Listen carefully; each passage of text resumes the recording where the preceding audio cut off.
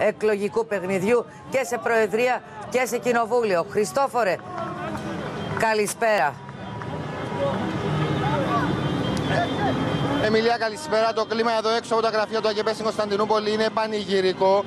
Βλέπουμε πολλές χιλιάδες οπαδών του Τούρκου Προέδρου να έχουν κλείσει το δρόμο και με τη βοήθεια του κινηματογραφιστή μας θα δούμε εικόνες από την περιοχή. Έχουν κλείσει λοιπόν το δρόμο και έχουν ξεκινήσει ένα υπαίθριο πάρτι με διάθεση να κρατήσει μέχρι τις πρώτες πρωινές ώρες.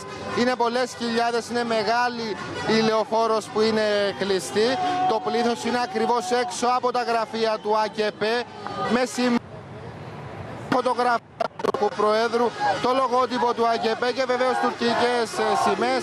Φωνάζουν συνθήματα, τραγουδάνε τα τραγούδια που προεκλογικά είχαμε ακούσει από τον Τούρκο Πρόεδρο και για τον Τούρκο Πρόεδρο και βεβαίως το κλίμα είναι πανηγυρικό. Άκουσαν πριν από λίγο την ομιλία του Ερντοάν, την είδαν από, γιγαντο, από γιγαντοοθόνες και βεβαίως συνεχίζουν το πάρτι, έχουν διάθεση να κάτσουν εδώ μέχρι το πρωί.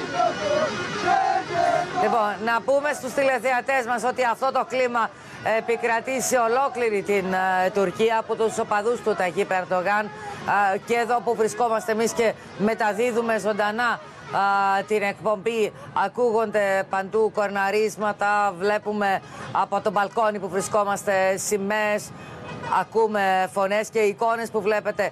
Κυρίες και κύριοι είναι τώρα ζωντανά. Αυτό που βλέπετε τώρα συμβαίνει τώρα στην Κωνσταντινούπολη, έξω από τα γραφεία του ΑΚΕΜΠΕ, του κόμματος δικαιοσύνης και ανάπτυξης του Ταγίπ Ερντογάν. Έλεγα και προηγουμένως, σας αφήσουμε την εικόνα με τον Χριστό